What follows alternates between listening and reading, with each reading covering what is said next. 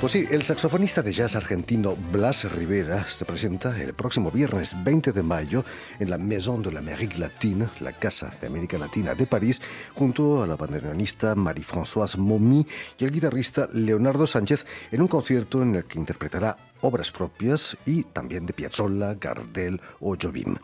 Para los que no puedan asistir, les quedará siempre otra oportunidad el domingo en la sala parisina Clan Destino en dos palabras separadas. Y para hablarnos de sus conciertos y de su trayectoria musical, Blas Rivera ha sido tan amable de, venir hasta nuestros estudios. Buenas tardes, Blas.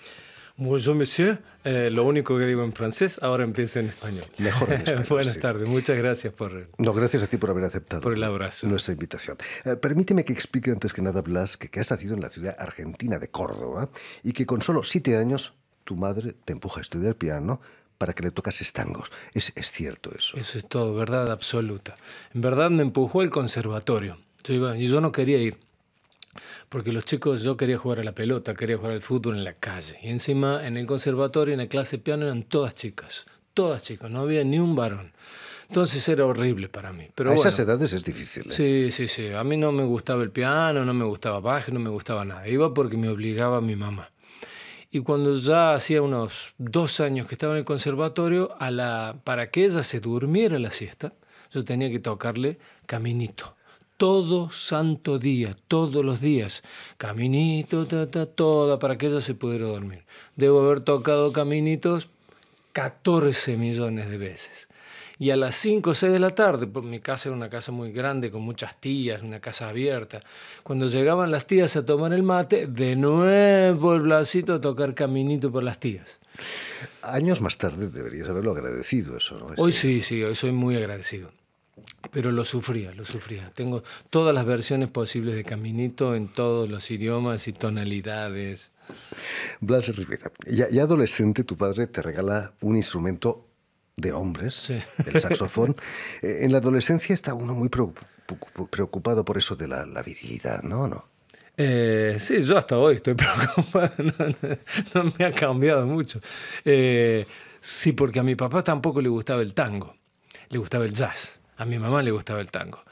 Y entonces mi papá se ganó lo que allá llamamos, llamábamos el PRO, de que era una lotería deportiva para ver qué equipo gana. Bueno, y consiguió un segundo premio, no ganó mucho, pero alcanzó para comprar un termotanque, un calefón, que nosotros llamamos, porque no teníamos agua caliente en casa.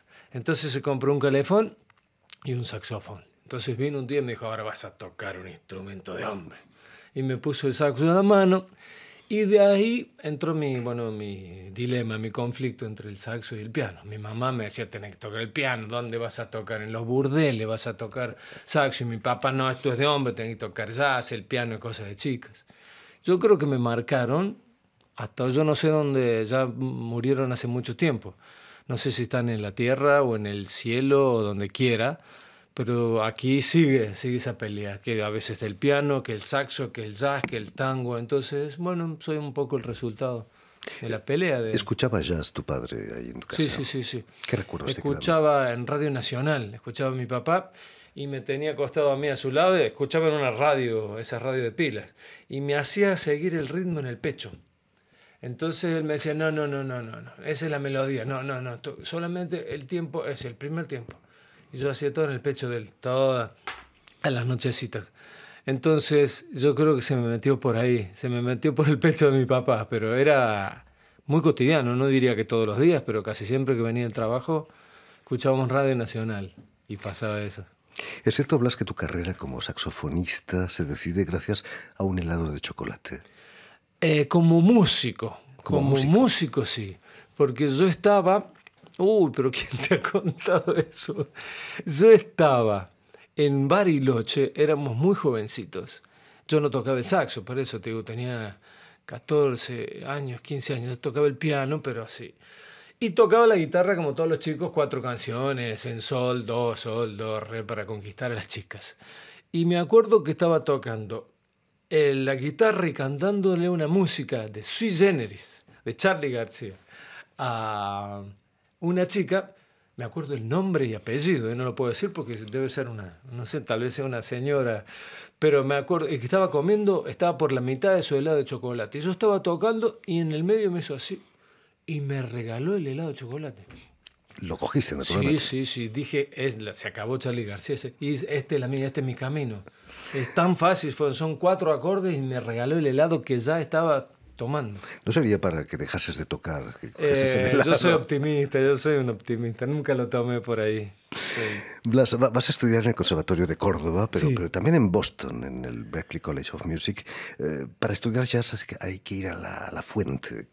Bueno, es lo que sentía mi papá un poco. Eh, yo fui un poco por él, él quería que yo fuera más jazzista. Eh, y me fui un poco por él. No fui a estudiar, sí, me fui a, contaminar con el mundo del jazz. Pero yo eh, empecé a estudiar film scoring, música para películas allá. Y estuve en Berkeley, claro, y uno va mamando todo eso y va... Pero también fue mi frustración con el jazz, en, porque yo tenía un profesor particular yo después pasé del, en Berkeley, fui a otro conservatorio que se llamaba New England, New England Conservatory. Tenía un profesor que se llamaba Ram Blake, un gran pianista, un gran improvisador, y tenía clases en su casa. Y después de un año de tener clases con él, un día me dijo, ¿por qué no tocas algo tuyo, alguna cosa que te guste, de tu patria? Y a mí me daba vergüenza, no sabía qué tocar. Y bueno, toqué alguna samba, alguna cosa así, y me dijo, ahí está es eso. Porque yo me sabía todos los, todos no, pero salían, sabía mucho los solos de John Coltrane, imitaba, me encantaba Paul Desmond, me encantaba. Y sabía imitar todo eso. Y me dijo, pero vas a hacer un Coltrane de cuarta, de quinta categoría, no es lo tuyo. Yo ahora lo cuento con, con risas y alegría, pero para mí fue un puñal en el pecho. Me acuerdo, guardé mi saxofón, tenía que tomar un tren y después un colectivo, nevaba para volver a casa, estuve dos meses con una depresión y después fui pensando que tenía razón. Entonces a partir de ahí dejé salir un poco todo lo que tenía adentro, mi mamá, mi papá, mi patria, todo lo que estaba ahí adentro, porque tenía razón Ramblek. Eso es lo mismo que le dijeron a Astor Piazzolla aquí en París. Sí, nada, nadie sí, sí, Boulanger. Solo que era Piazzolla. bueno, pero le dijo, dedícate al tango. Sí, claro. Sí, a mí me lo dijo un jazzista. Para mí fue muy frustrante. La verdad que, la verdad que fue muy frustrante. Hoy estoy feliz con eso, estoy feliz. La vida en Boston de un músico de jazz no debe ser nada fácil, sobre todo en la calle, hace mucho frío ahí. Uf, no, yo una vez pasé 22 grados bajo cero 22 grados bajo cero, bueno, es lo mismo 15 bajo cero, o 17 o 12. Me acuerdo que se congelaba el agüita, se congelaban las lágrimas, era un horror. Pero mi vida en Boston no fue de, de músico de jazz, era de estudiante, que es diferente. Porque yo estaba comenzando, entonces el músico jazz era otra cosa. Tocábamos en todas las fiestas, en aniversarios, casamientos y esas cosas. Pero no estábamos comenzando a, a emborrachar con, el, con ese lenguaje. No era, yo no me considero que era un músico de jazz. ¿Cuándo empiezas a considerarte profesional de, En Brasil, en Brasil. Yo me fui, estuve un poquito más de cuatro años en Estados Unidos y me fui a vivir a Brasil porque mm, decidimos con un compañero que estaba en el conservatorio em, abrir una escuela en Río de Janeiro de música popular. Una parecido chiquititito, un Berkeley chiquitito. Y por eso nos fuimos a Río, porque él era de allí. Fue allí que empecé a trabajar. Por eso yo siempre digo que Argentina es mi patria, pero mi hogar es Brasil. Se dice siempre que, que, el saxo es un instrumento muy sensual, es el estereotipo del saxofón. Eh, ¿Te hacía falta un país tan, tan sensual como, como tu eh, instrumento? Yo, yo creo que sí, yo creo que sí. Eh, yo no, el que tiene, los vecinos que tienen que aguantarte 5 o 6 horas diarias tocando escala, eso no les parece muy sensual el saxo. Pero entiendo, sí, entiendo la idea y sí, la verdad que el soplo, la saliva, la curva, el jeito, la manera del saxo es allá.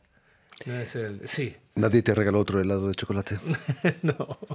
Pero en Brasil eh, decía que es mi hogar porque tengo, bueno, mis primeros aplausos, mi primer público, mis primeras traiciones, eh, varios casamientos, mis perros, eh, todo empezó en Brasil, esa parte más profesional. Adoptaste también la música brasileña, imagino. Sí, sí, claro. Bueno, ella, eh, la música brasileña te adopta, te, te, te, come con papas fritas, te corta en pedacitos y te... Sí, es eh, inevitable. Yo, mm, yo no diría que hago música brasileña, no tengo el... sería muy arrogante, no, no, no, no diría que hago música brasileña. Estoy completamente contaminado, contaminadísimo. Eh, Mm, eh, si vas por la calle y te cruzas a Chico Barque y escuchaste a Tom Jobim en la calle y escuchaste en la radio a Hermeto Pascual y, yo voy con un disco de Gismonti y cuando estás en la esquina hay un tipo, el, el ayudante del peluquero, que está con una cajita y es imposible no estar atacado por, por todos lados.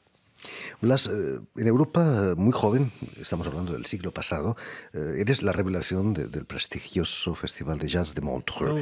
Eh, ¿Qué, recuerdos conservas de, esos conciertos en Montreux? Bueno, para mí, yo no tenía idea de eso. Para mí fue muy... porque eso fue... Ya vivía, claro, ya vivía en, Brasil. Y mm, para que tengas una idea, yo, ah, nosotros éramos un quinteto y Montreux me pagaba el pasaje de tres músicos. Y el gobierno brasileño, yo iba como argentino, pero el gobierno brasileño me, me sponsorizó, me ayudó y me pagó el resto de los pasajes. Entonces fue, empecé a ser muy sudakai, porque fui a, era argentino y iba representando, iba representando a Brasil. Y bueno, pero ¿Qué puedo decir de Montreux? Para es, es, como una torta, una torta de chocolate que uno siente que el mundo va a seguir siendo así. Y bueno, después viene la, la realidad, que el mundo, empecé por ahí, después, bueno, a construir otro camino. ¿Con quién te cruzaste allí en Montreux? me acuerdo que yo no lo conocía, me encontré con Gilberto Gil. Gilberto Gil, solamente. Y ahí me contaba él, y él, yo le digo, sí, voy a tocar en el teatro, ta, y él me mostró en el teatro que iba a tocar él, que es la sala Miles Davis. Entonces, bueno. Y... Hay clases todavía. Sí.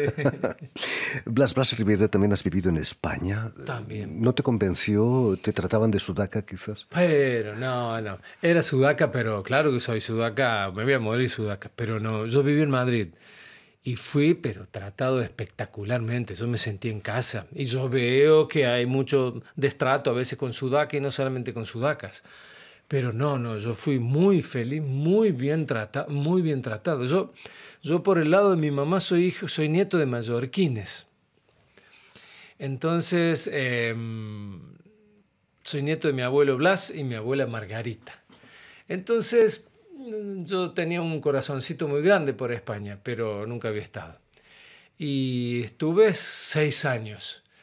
Y claro, ahí, ahí empecé a sentir mucho más la cosa de idiomas, lenguas, razas, países, mucho más, porque en Boston es un lugar eh, más victoriano, hay gente de todos lados, pero no tanto. En España empecé a sentir eso. Y ahí todos éramos sudacas, éramos, había gente de todos lados. Eh, yo no sufría con eso. Tal vez un ecuatoriano, un ecuatoriano, un francés, por ejemplo, era un extranjero en Madrid. Pero un ecuatoriano no era extranjero, era un inmigrante. Y Sudaca éramos dos argentinos, brasileños, chilenos, uruguayos, muy bien, muy bien tratados. Yo la verdad que fui como un hijo adoptivo. ¿Adoptivo se dice adoptado? Hablando de sudacas, eh, porque ese es el nombre de, los conceptos que vas a dar aquí en París, música sudaca, ¿sigues asumiendo tu sudaquidad? Sí, incluso más que nunca, más que nunca, porque los músicos de jazz dicen eso no es jazz, porque no hay suficiente improvisación. Son, los músicos de tango me dicen, no, eso está el saxofón, hay demasiada improvisación, el fraseado no es. Los músicos clásicos me dicen, pero no hay nada para leer, todo de oreja, entonces tampoco es clásico. A mí me parece que es música sudaca, porque me viene del fondo del hígado, mi hogar, a dónde fui, a dónde estuve, abuelos, regiones, olores de todos lados. Más que nunca, yo también considero que esto no es tango, que esto no es jazz, que esto no es clásico. Es una ensalada bastarda en el mejor de los sentidos y por eso creo que es música sudaca. Tocas aquí en París, eh, ¿sigue siendo París la, capital del jazz como era en los años 60 o, sientes que, las cosas cambian? Eh, yo creo que ha cambiado no solamente por capital del jazz, hoy un festival de jazz tiene muy poquito de jazz.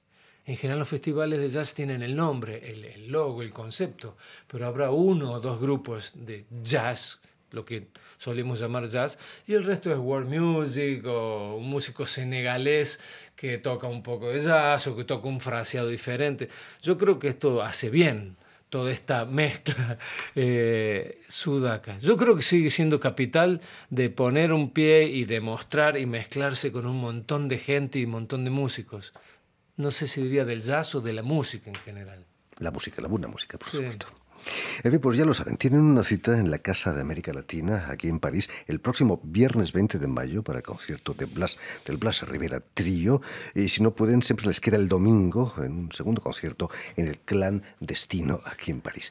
Muchísimas gracias, Blas, por haber estado con nosotros. No, yo soy el agradecido. Y, y si quieren volver a escuchar íntegramente esta entrevista o, o verla incluso en vídeo, lo pueden hacer en nuestra página web RFI en español o en la página Facebook de la emisión El Invitado de RFI.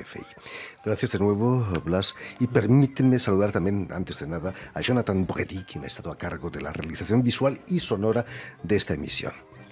Muchas gracias y, y nos vamos, naturalmente, con tu Milonga Sudaca. Ahí está, vamos. Blas Rivera.